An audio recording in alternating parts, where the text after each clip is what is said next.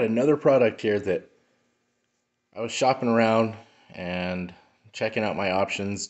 Try not to go too cheap, not too expensive. Um, but I could not find one photo of this installed on my WR250X. No pictures from the manufacturer, no pictures from the sellers, no Google, nothing. Could not find it installed. And so that's the only reason I'm making this video. Otherwise, I would just install it. But what is it? It is a Moose Racing XCR luggage rack. Um, I've already opened it, but honestly, this is no joke. Um, first of all, the exterior shipping is from um, Cycle Gear, which I'm a big fan of now. They've been hooking me up with. Uh, big fan of. Great deals, great sales staff, and kind of conveniently located for me. But this is this is the Moose products right here. But this is really how it was shipped. Let's see if I can get that open.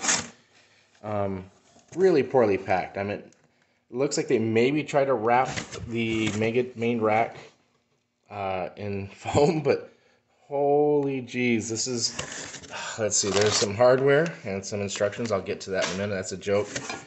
Two brackets.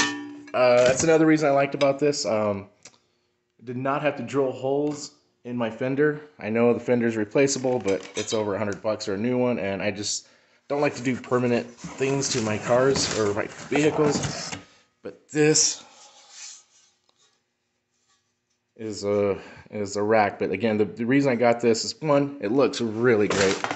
It's kind of just gonna fit the shape of the bike, but also uses brackets instead of um, normally you'd see four holes that just go into the frame. Yeah, that holds weight, but this one's advertised to hold uh, 40 pounds, which I think that's greater than most of the lower level ones.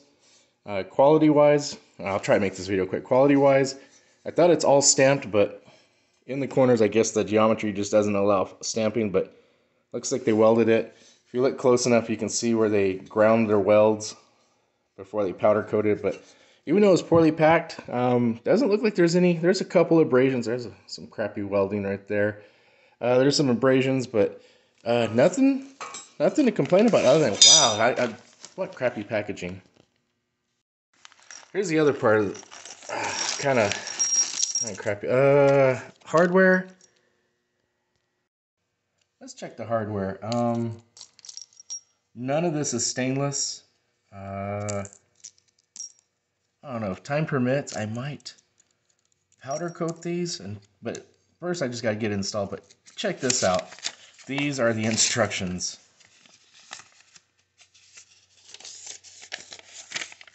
Come on, my old ass eyes can't read these. Uh, let's see, I've read it. What's even funnier is there's a. Uh, let's see. Yeah, here's a funny part. You can't read. I can't zoom in, but it says Remove the bolts in the rear of the subframe as shown in the image on the next page. Next page. Come on. I know this rack wasn't the most expensive rack, but it's definitely not the cheapest. But lucky for me, Dennis Kirk, uh, which is a reputable brand, uh, Dennis Kirk has this install sheet on their website. So thank you Dennis Kirk. But again, I couldn't even get these instructions on Moose Racing website. This uh, product, let's see, what is the product number? Uh, 5510-0267. It's not even available on their website. I mean, you can buy it, you can see it, but you sure as hell ain't going to get work instructions. Work instructions. Um, after all, it's a pretty simple install, but I write work instructions for a living, and this just drives me fucking nuts. Uh, again, hardware is not stainless. God, it, that's a lot of stainless hardware to recover. Maybe I have some scrap bolts in my, but these nylon spacers, let's see. Oh, that's, these spacers are to go, uh, not the end of the world, but come on, man, you can get better spacers than that. This is to be a little sloppy. Again, I'm to probably dig through all my nuts and bolts, see what I can get, but I'm like, I'm to spare you guys the install. I'll just hopefully have a video of the final product. Um, I do have some issues to overcome. I have I re repurposed my bracket to tuck all this stuff in. This is not OE, well, it's OEM parts, but not OEM install. But uh, there's some wire tucking I have to do under here, so that bracket's going to go inside where I'm utilizing some stuff. So I'm going to spare you the the pain of installing this, and uh, maybe I might actually go buy some stainless hardware. Ah, starting off in this, uh, just starting off looking at the hardware. Uh, this is an M6 by one pitch. Uh, let's see what else. Yeah, the longer bolts are M6. These little guys are quarter inch 28, quarter inch 20, standard size. Um, it says in the parts list, but still, why are you mixing hardware? Uh, lucky for me, the head bolts or the heads are, oh God, uh, 11 inch or 11 millimeter wrench will work with the heads, but still, that means I gotta, I don't know, why do you, why do you do this? Uh, Moose does advertise this as 12 gauge, which is roughly about tenth of an inch. Uh, this comes out to about 0.112 maybe. That's about a tenth plus powder coat, so that's good. So first step, putting those bolts in. Again, this won't be a full install. I'm just going over the little details. Uh, these are the longer bolts that go through, and they're going to get spacers underneath. Um, they didn't give they didn't give enough washers to go around. I mean, they there's enough per parts list, but by uh, they shouldn't have. They should have gave me some flange bolts, but I dug up some washers for here because otherwise these hex heads are gonna be digging right into the frame. But uh, oh well, I got I got parts.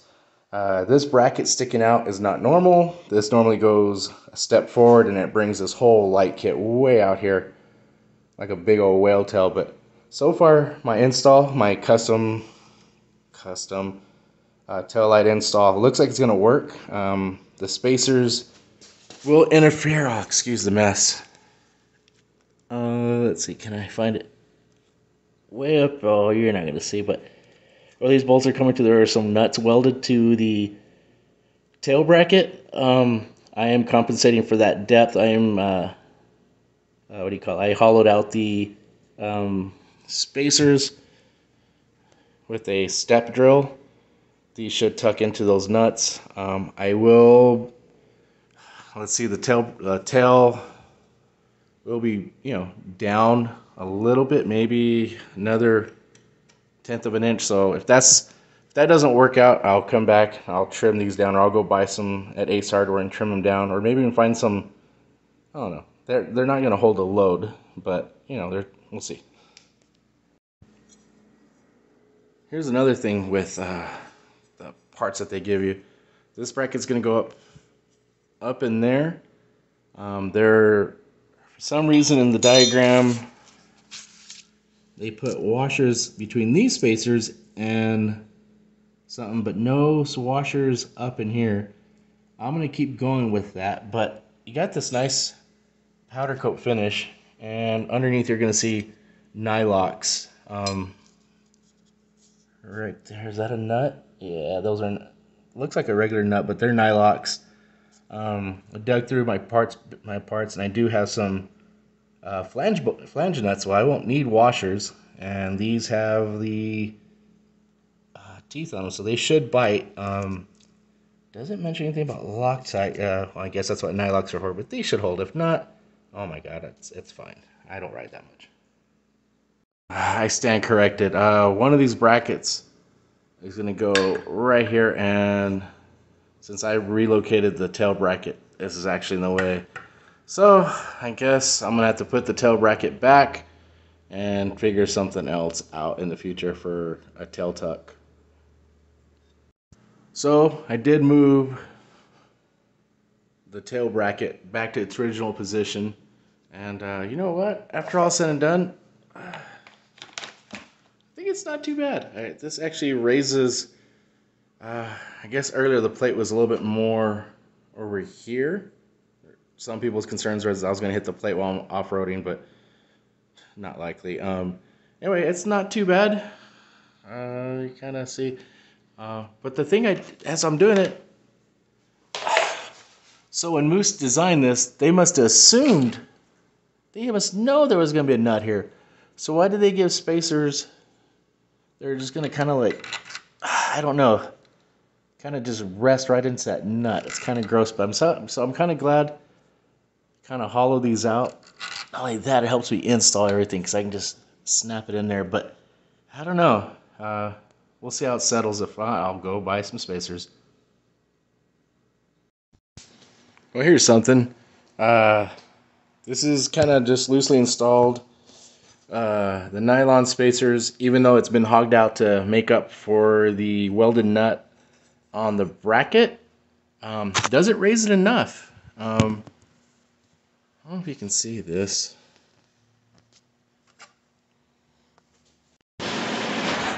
Well, um, got it somewhat installed. So remember this, I have this spacer hogged out to make up for the nut that's welded onto the tail bracket here. Um, the luggage bracket hits, God, you could probably get a sheet of paper in there, not even two to three thousandths. It's, you can see a little light. Anyway, so I need to go either trim these spacers down or buy a spacer. And I don't want to ruin this until I bought something. So I went to Ace and $21 later, I got hardware. Um, here's the original spacer. You can see where uh, I hogged it out to make up for that welded nut. But I got steel spacers, which are a little, a little shorter, but I'm thinking that might work. We're going to give that a try. And then uh, as I was there, I was thinking, there's nothing. I don't know if you can see in the graphic. There's nothing really holding this. Uh, it's gonna hold a weight down. Spacer's gonna hold it together up, but there's nothing to um, uh, control side fumbling. Uh, I just feel like these spacers, these nylon spacers, are so sloppy. Um, I'm gonna torque them. They're gonna get squished. They're gonna get crunched. Uh, the day I put my leg over the over the bike and hit it, it's gonna just bend. Uh, something's gonna give. There's no, there's not a lot of side strength to this thing. Is that what it's called? Side strength. So for the front spacers, again, they are a little shorter as well than the nylon. But I'm thinking since I have to raise this one up to get it off the muffler, this one should hopefully get me right about that same. So I don't know if I have to hog these out. I might just. God, this just drives me nuts that there's a welded nut on the tail bracket and this is going to just be resting in there. Um, gives no, not a lot of strength on the side stuff. But anyway, oh, and I also got these and nuts for, uh, you can't see the diagram, for the side nuts. Why would you want, go through all the trouble to powder coat this thing black, and then you're giving me shiny silver hardware. I mean, God dang it. You know, spend a few extra bucks on hardware, Moose. Come on. This is a loose fit, or no, it's tightened up. But this is with the uh, the extra spacers I bought. Uh, the gap in the back pretty level with the seat. And again, these are my spacers, not the cheap nylon ones they give you. Um, it's I thought it was pretty high before I put the seat on, but now it's below the seat, if you will. But as you come out here, doesn't look like it, but the space is really small here. And so what I'm going to do is I'm going to come back here. I'm going to hog out these little spacers to clear those welded nuts.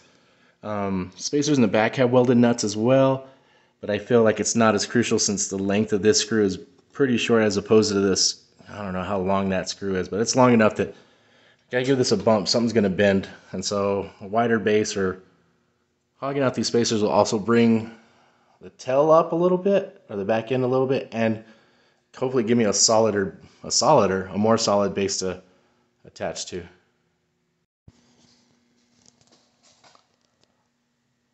also I thought I was smart I went and bought some more automotive bolts but um, you got to use short ones or you hit the fender here on this side uh, God I am gonna bring it up a little bit so this might be an issue as well but to me, not that problem. I do have some shorter automotive bolts I could probably use here, other than those shiny metal ones.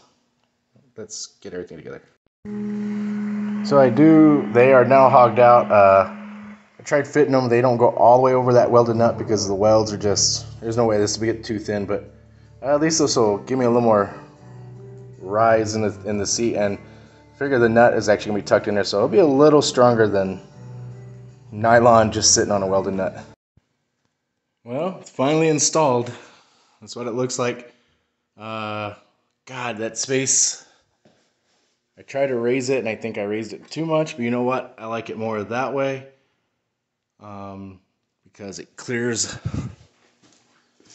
that muffler way better. Um, few points to notice. Let's see. Uh, hardware. I didn't want silver screws. I bought automotive bolts, but they were too long, so I had these little ones, uh, M6s, I think. So I replaced those. Uh, one because they got the washers and they just hold on better. Uh, underneath, I went with some.